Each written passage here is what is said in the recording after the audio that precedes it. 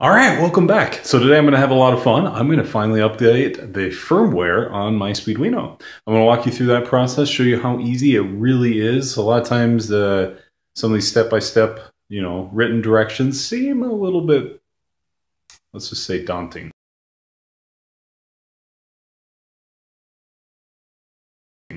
All right, let's have some fun. I'll show you. This is something I've had a few people ask, and uh, as well as I just need to do it personally. I'm still running on a firmware from a few months ago. So let's have some fun.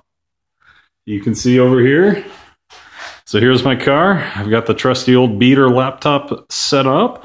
So we're going to go through and uh, I'll walk you through that process. I'm going to switch to some screen recording. Just to start off with, though, you'll notice that we have the little Arduino and uh, we'll get that up and going. Uh, here's what you're going to see. If you've done this before, you're going to see a screen with your old project open.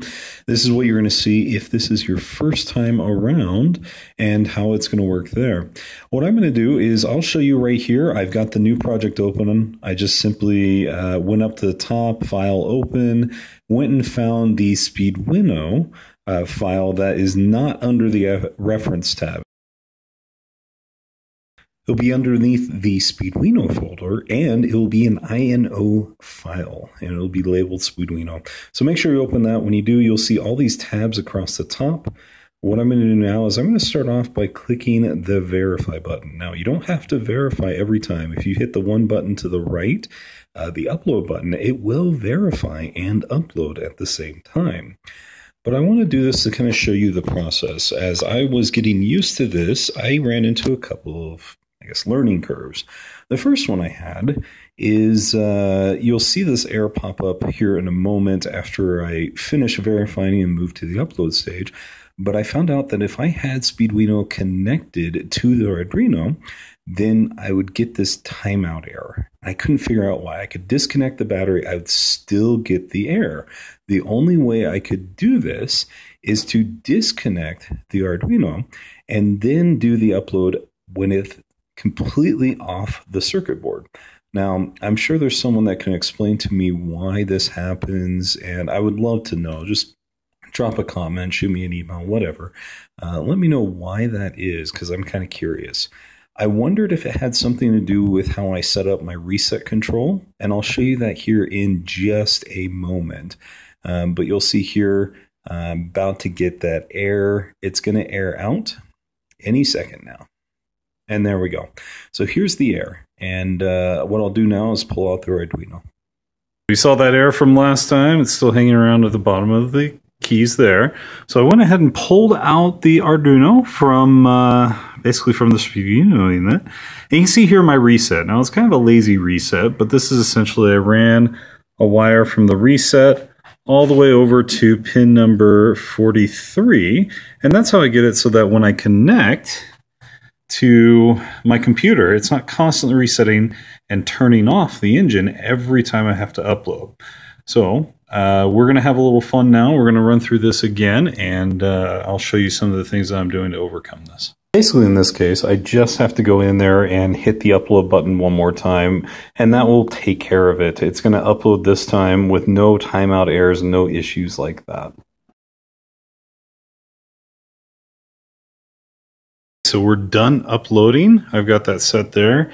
The bottom of the screen gave me the done uploading. And uh, now I'm going to show you how I'm going to open up the Tuner Studio project and get that going. So I've got Tuner Studio open. I'm going to go ahead and just open up my last project.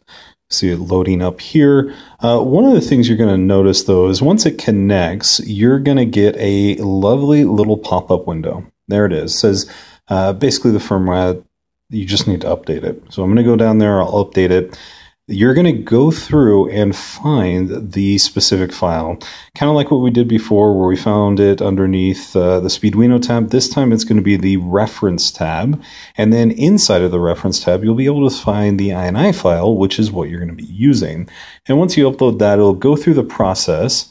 And uh, a lot of times it'll go through there when it connects again, and it could give you a kind of variance report more often than not, if you're using the project that you just very recently opened with, you're going to want to send it to Tuner Studio settings.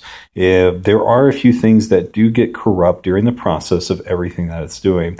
The most recent one that I always find is uh, required fuel. I found that my required fuel from sometimes if I'm using anything that doesn't match my normal, um, you know, milliseconds, if I'm using alternating two stroke, not problem, or two uh, squirts, it's not a problem. But if I'm doing anything different than that, a lot of times it pulls the millisecond column, the grayed out box there, and it populates that into my normal required fuel.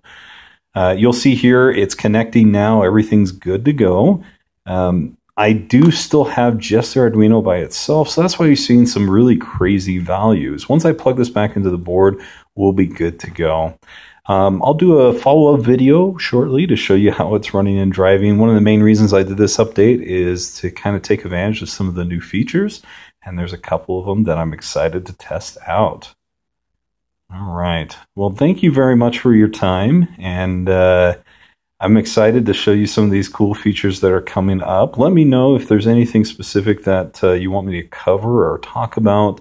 Um, I've been working on the, the turbo project a little bit and the gated shifter that you probably saw in the previous video, but uh, it's coming up.